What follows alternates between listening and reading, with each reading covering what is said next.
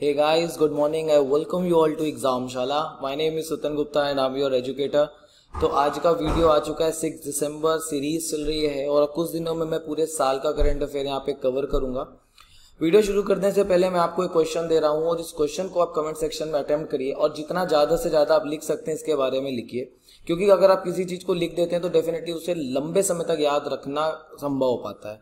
Question है, नागरिकता विधेयक 2019 में संशोधन करेगा। कौन सा है? नागरिकता अधिनियम 1950 नागरिकता अधिनियम 1955 नागरिकता अधिनियम 1960 और नागरिकता अधिनियम 1965 इस क्वेश्चन का आंसर मैं आपको अगले वीडियो में दूँगा और मैं उम्मीद करता हूँ कि आप उस क्वेश्चन को कमेंट सेक्शन में ज़रूर अटेम्प्ट करेंगे। तो चलिए हम आज का वीडियो स्टार्ट करते हैं और पहला क्वेश्चन रहा आपके सामने, ये। और क्वेश्चन है who among the following has been named PETA 2019 person of the year बताइए इसका सही जवाब क्या होगा?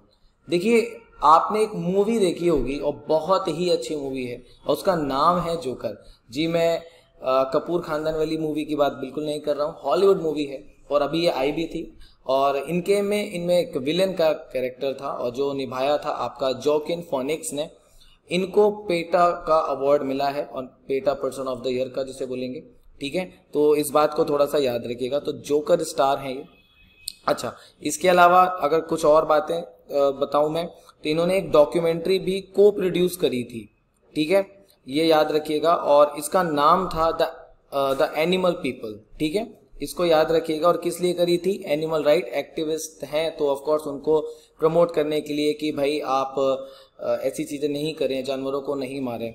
और इसके अलावा जोकला रिसेंट जो हमारे एक्टर्स हैं, ये रिसेंटली अपियर भी हुए थे। पेटा का एक बिलबोर्ड है। यू नो बिलबोर्ड एक बोर्ड होता है, उसमें एड आता है, ठीक है? डिजिटल आता है। तो उसमें आया था और उस बिलबोर्ड का नाम था we all are animals okay तो उसमें भी ये आए थे। तो बस इतना थोड़ा सा याद रखिएगा, इससे रिलेटेड इन्फॉर्मेशन इससे ज़्यादा नहीं पूछेगा। ज़्यादा से ज़्यादा पूछेगा तो कहाँ से? तो ये रेजिडेंस कहाँ के हैं? तो Los Angeles California US United Nation तो अगर इसकी नेशनैलिटी पूछ ले तो ये अमेरिकन है।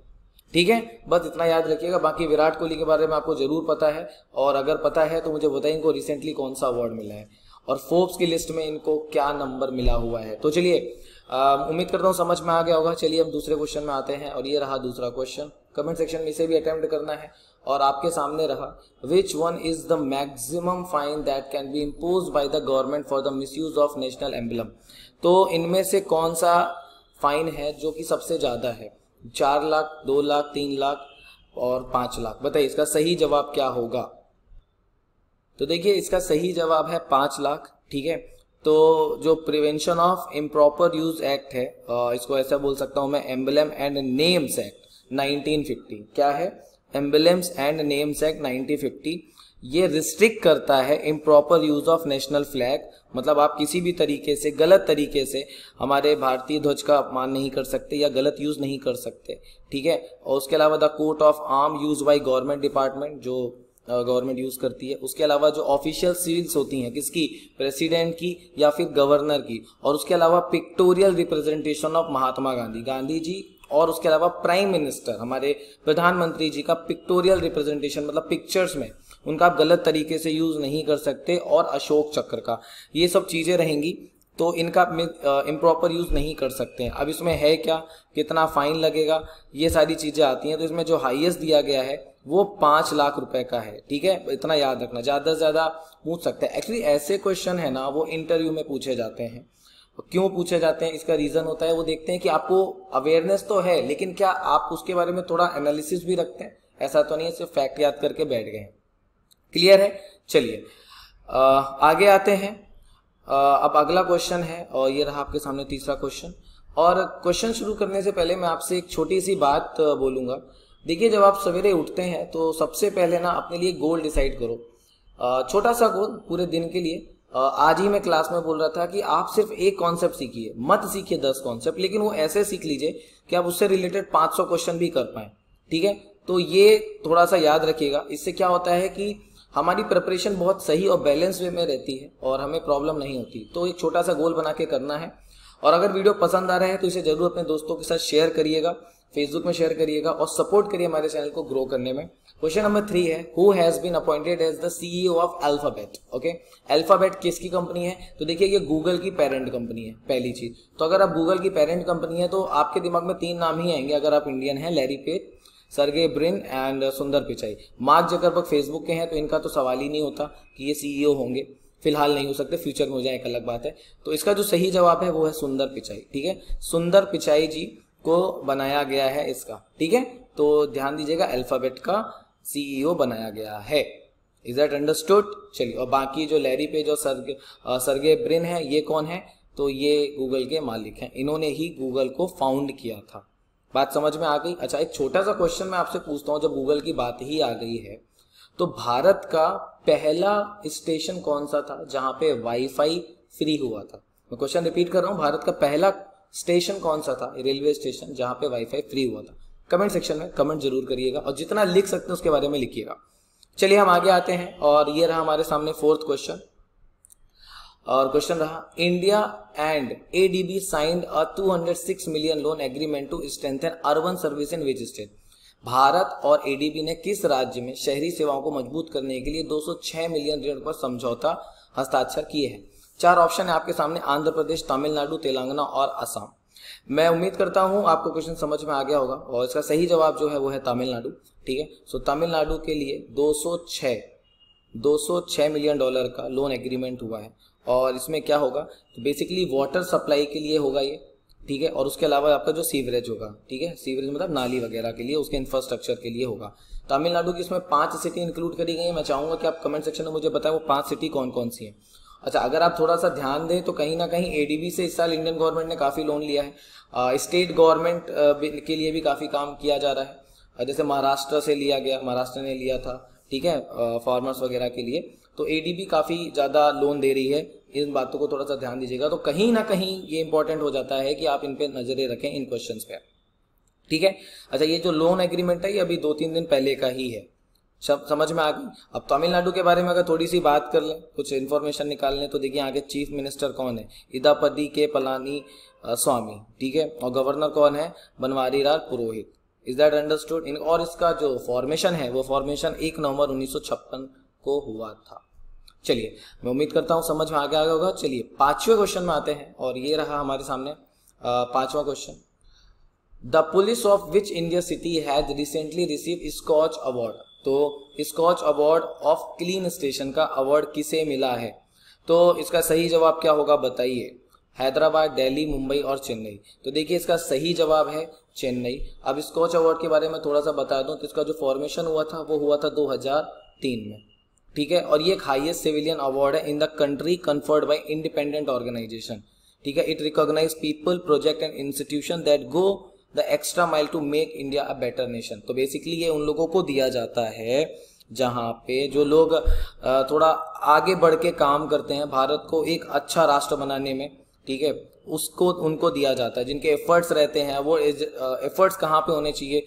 वो एफर्ट डिजिटल में हो सकते हैं फाइनेंशियल इंक्लूजन में हो सकते हैं सोशल इंक्लूजन में भी हो सकते हैं, ठीक है? तो जो भी लोग इस तरीके से काम करते हैं, उनको स्कोच अवार्ड दिया जाता है। यहाँ तक बात समझ में आ गई? चलिए तो बेसिकली अगर मैं इसके बात करूँ तो इसमें एक्सीलेंस भी देखी जा सकती है कि जो टेक्नोलॉजी एक्सीलेंस जो रखते हैं जो मैनेजमेंट पे लेवल पे काम कर सकते हैं कॉरपोरेट लीडरशिप में जो, जिनका बहुत अच्छा योगदान रहता है, या कॉरपोरेट गवर्नेंस में जिनका योगदान रहता है, उन सबको ये अवार्ड मिल सकता है, ठीक है? तो इतनी इन्फॉर्मेशन आई गेस इसके लिए सफिशियंट रहेगी, क्यों दिया जाता है? बाकी पहली बार ये 2003 में दिया गया था। चलिए, हम आगे आते हैं, और आज का क्वेश्चन रहा छठवां। ये। ISRO is to launch the sharp eye surveillance satellite with synthetic aperture radar तो ये नाम क्या है इसका बताइए, क्या नाम होगा? R I sat two B R R I sat two B R one R I sat two B R one A और R I sat two B R one C इसका सही जवाब है बी आर आई सेट और RISAT two B R one ठीक है? ये radar imaging satellite to होगी। इसको याद रखिएगा। बस इतनी इन्फॉर्मेशन इसके लिए सफिशियंट है। चलिए हम आगे आते हैं और सातवां क्वेश्चन रहा आपके सामने। ये, मॉरिशस के राष्ट्रपति के रूप में किसे चुना गया है?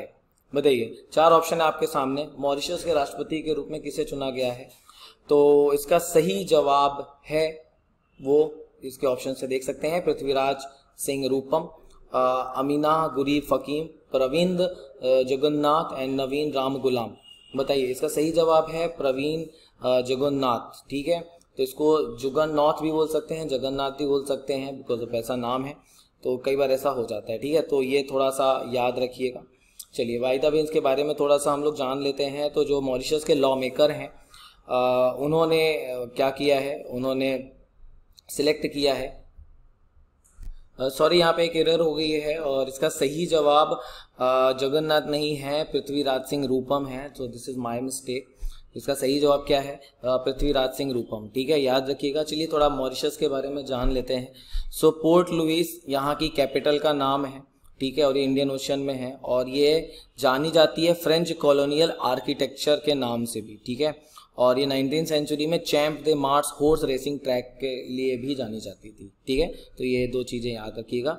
चलिए हम आगे क्वेश्चन में आते हैं और आठवां क्वेश्चन आपके सामने रहा। ये आजकल चाइना काफ़ी ज़्यादा न्यूज़ में है तो इसको भी देख लेते हैं। Which country recently inaugurated power of Siberia cross border gas pipeline along with Russia तो इसका सही जवाब है चाइना। तो चाइना ने रिसेंटली इनागोरेट किया है पावर ऑफ़ साइबेरिया अब साइबेरिया नाम ही लग गया है तो ऑफकोर्स तुम समझ जाओगे कि ये रशिया से है, ठीक है ना? तो ये रशिया के साथ किया है एंड ये जो पाइपलाइन है ये चाइना और रशिया को मदद करेगी किसमें? कोल को हटाकर ठीक है? जिससे क्या होगा? नेचुरल गैस को हम लोग यूज़ कर पाएँगे ठीक है? और यह जो पाइपलाइन है ये सिंबल है एनर्जी का आ, इसके लिए और इसको ऐसा भी कह सकते हैं energy symbol integration in Eurasia as a major partner of Russia and China तो कहीं ना कहीं देखें दोस्ती का हो गया है कि दो लोग दो नेशन आपस में हाथ मिला रहे हैं। चलिए नेक्स्ट है, नौवा क्वेश्चन आपके सामने रहा ये। और ये क्वेश्चन इंपॉर्टेंट हो सकता है बिकॉज़ काफ़ी क्वेश्चन ऐसे आ जाते हैं स्टैटिक में। Who is the director of special protection group तो इसका सही जवाब क्या होगा? स्पेशल प्रोटेक्शन ग्रुप इसे एसपीजी के नाम से भी जाना जाता है। अमित शाह जी का स्टेटमेंट भी आया है इसके मामले में। तो एसपीजी के बारे में क्या है? तो देखिए, अरुण कुमार सिन्हा जी को इसमें बनाया गया है डायरेक्टर ठीक है? और इसका फॉर्मेशन कब हुआ था? अगर मैं बात करूँ स्पेशल प्रोटेक्शन ग्रुप का तो special protection group was formed in 1988 1988 में किया गया था by an act of the parliament of India तो ये एक्ट है, इसको थोड़ा सा ध्यान रखिएगा। और इसका हेडक्वार्टर कहाँ है? इसका हेडक्वार्टर है न्यू दिल्ली में। ठीक है? चलिए, और ये क्या करते हैं? तो बेसिकली ये स्पेशल फोर्स प्रोवाइड करते हैं प्राइम मिनिस्टर साहब की सिक्योरिटी में और फॉर्मर प्राइम मिनिस्टर की सिक्योरिटी में भी। ठीक है? चलिए, उसके बाद हम आते हैं आज के आखिरी सवाल में, और आज का वीडियो थोड़ा लंबा हो रहा है, लेकिन ठीक है, जानने को काफ़ी कुछ मिल रहा है। और ये रहा आपके लिए दसवां question which railway station was recently certified as the first eat right station in country by F तो कौन सा स्टेशन है एफ़ द्वारा हाल ही में पहल, देश का पहला ईट राइट स्टेशन ग्रुप में प्रमाणित किया गया है? तो इसका सही जवाब है मुंबई सेंट्रल ये वाईफाई के लिए भी था, मैंने आपसे ऊपर एक क्वेश्चन भी पूछा था। ठीक है? तो जो हमारी food safety standard authority of India है, इसकी फुल फॉर्म है F S S A I की। क्या है full form food safety standard authority of India okay अब यहाँ पे बात क्या है? मतलब ये किस लिए दिया गया है? ईट राइट स्टेशन है क्या? तो देखिए, यहाँ पे इन चीज़ों को देखा जा रहा है कि जो स्टेशन है, वहाँ पे हेल्दी फ़ूड मिल रहा है कि नहीं हाइजीन है कि नहीं drinking water facility food waste management मतलब खाना वाना जो बर्बाद हो रहा है, उन सब का मैनेजमेंट देख के दिया गया है। ठीक है? चलिए। और इसको जो रेटिंग मिली है, वो फोर स्टार मिली है वहाँ से। यहाँ तक बात समझ में आ गई? अच्छा जो ईट राइट स्टेशन है, ये पार्ट है ईट राइट इंडिया का। और ये एक इनिशिएटिव है F S S A I का, जो कि 2018 को लाया गया था। ठीक है? तो ये याद रखिएगा। बस इतनी इन्फॉर्मेशन इसके लिए सफिशियंट होगी। और मैं आशा करता हूँ कि आज के वीडियो में आपको काफ़ी कुछ जानने को मिला होगा। मैंने जो आपको क्वेश्चन दिया था, उस क्वेश्चन को ज़रूर अटेम्प्ट करिए। तो चलिए, मिलते हैं अगले वीडियो में। Till then Have a nice day.